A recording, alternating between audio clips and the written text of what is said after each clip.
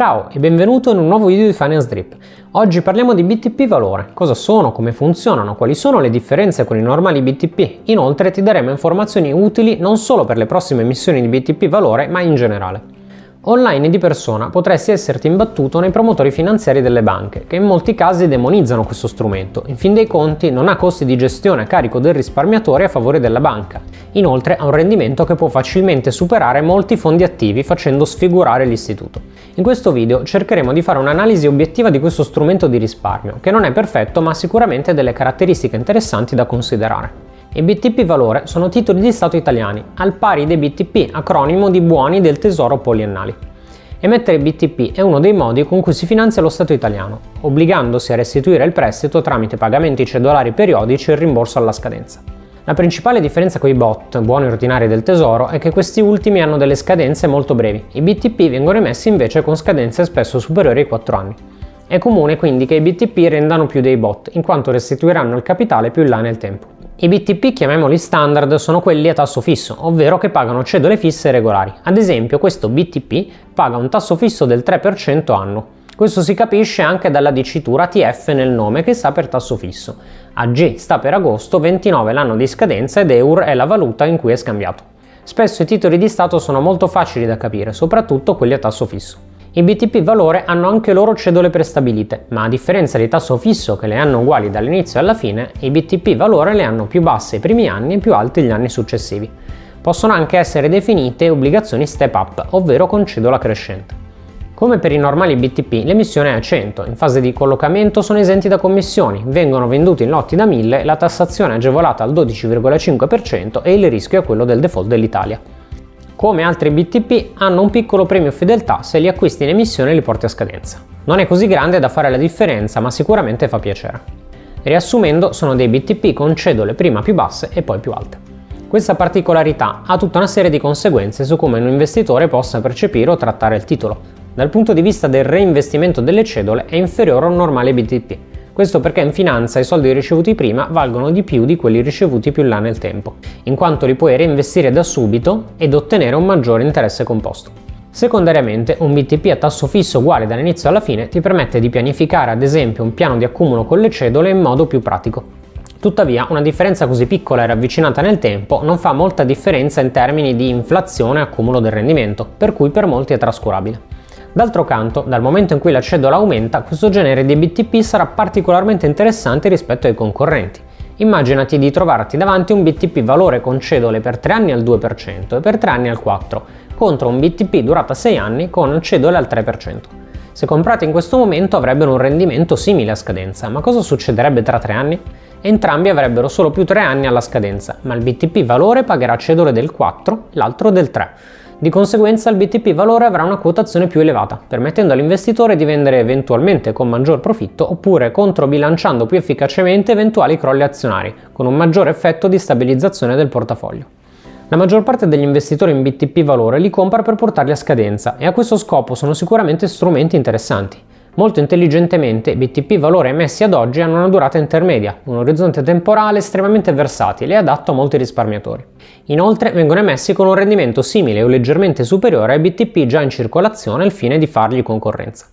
In sintesi, i BTP valore sono un buon titolo di Stato italiano, con un rendimento simile o leggermente superiore ai normali BTP e gli stessi vantaggi fiscali, possono fornire maggiore stabilità al portafoglio con l'avvicinarsi della scadenza e le cedole crescenti ne incentivano fortemente l'acquisto buy and hold.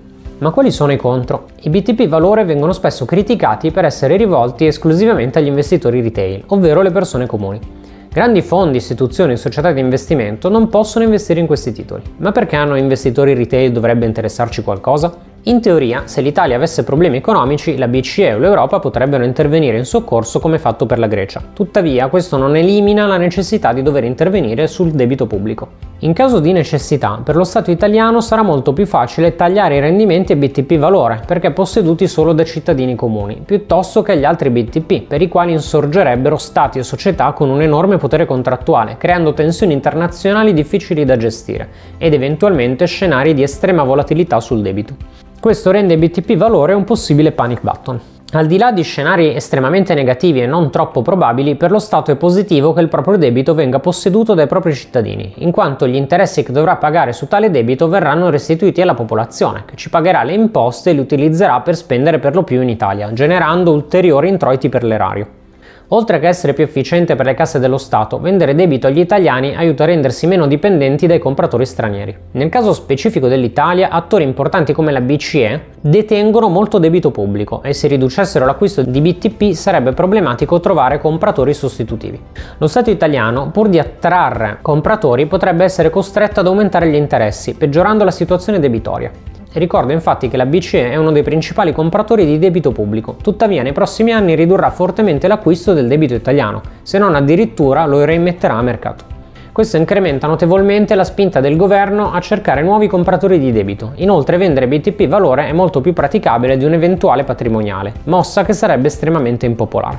Gli italiani sono notoriamente un popolo di risparmiatori. Il governo lo sa e cerca di sfruttarne i risparmi per finanziarsi. Non è un segreto, è una strategia nota. Ti sembrerà strano, ma all'estero i risparmiatori non amano i BTP quanto noi, anzi spesso il nostro paese è visto come particolarmente rischioso per via dell'elevato indebitamento. Non è un caso che l'Italia abbia un rating di BBB, inferiore a molti stati europei, comprese nazioni appartenenti all'ex blocco sovietico. Il debito dello Stato italiano è tra i più alti d'Europa, secondo solo alla Grecia. Una delle regole per entrare nell'Unione Europea, secondo il Trattato di Maastricht del 92, è che il paese richiedente abbia un debito non superiore al 60% del PIL. All'epoca l'Italia fu esentata, con la promessa di migliorare la situazione per raggiungere questo obiettivo in futuro, e ad oggi il debito ammonta quasi il 140% del PIL, oltre il doppio di quelli che sarebbero i limiti per meritare di far parte dell'Unione. Per raggiungere questo obiettivo bisognerebbe accrescere la produttività o ridurre il debito. Delle riforme in tal senso sono state fatte, ma complici anche eventi esterni come la pandemia siamo ben lontani dall'obiettivo. Come comportarsi quindi? I BTP valore sono consigliabili per tutti quegli investitori che già normalmente comprerebbero BTP. Il rischio di default dell'Italia è sì remoto, ma non è certo aggirabile acquistando BTP normali anziché BTP valore. Come al solito è necessario diversificare per emittente. Avere 10 BTP diversi non riduce il rischio Italia, rischio che persiste anche se ai BTP affianchi azioni di aziende italiane, che sono comunque suscettibili al rischio sistemico di eventuali crisi del paese. Se il tuo reddito arriva tutto da attività che si svolgono in Italia, se ricevi una pensione statale, se hai una casa di proprietà, considera che potresti essere coinvolto negativamente in tutti questi ambiti se l'economia italiana andasse male. Sicuramente l'Italia è un paese importante all'interno dell'Unione Europea e nel mondo, tuttavia non è necessariamente il miglior posto dove investire, né l'unico da cui puoi trarre rendimenti interessanti. Siccome per le entrate è più difficile, è importante diversificare a livello internazionale almeno i propri investimenti per ridurre i rischi. Considerando quindi sia il tuo attuale portafoglio che la tua situazione di vita, se reputi che i BTP possano fare al caso tuo, i BTP valore sono sicuramente uno strumento da prendere in considerazione. Il buon rendimento unito alla tassazione agevolata e alla decorrelazione con l'azionario li rende un buon titolo di Stato da avere in portafoglio, quindi benvenuti BTP valore in portafogli a medio e lungo termine, purché non siano già pieni di BTP. In quel caso potrebbe essere consigliabile virare su altri emittenti. Se desideri un esempio pratico di asset allocation che preveda l'utilizzo di titoli di Stato di nazioni diverse, trovi in descrizione l'ultimo video che abbiamo fatto con Bowman sulla scaletta di obbligazioni. Ma come si compra in BTP Valore? Quando sono in fase di collocamento puoi acquistarli presso le maggiori banche italiane e diretta SIM, solitamente senza alcun costo di transazione. Dopodiché li troverai su Borsa Italiana segmento MOT come le altre obbligazioni. Siamo arrivati alla fine, spero che il video ti sia piaciuto e ti abbia fornito informazioni utili a capire non solo la prossima emissione di BTP Valore, ma in generale come funziona lo strumento e come trarne beneficio. Ti invitiamo a lasciare un like e iscriverti al canale. Alla prossima!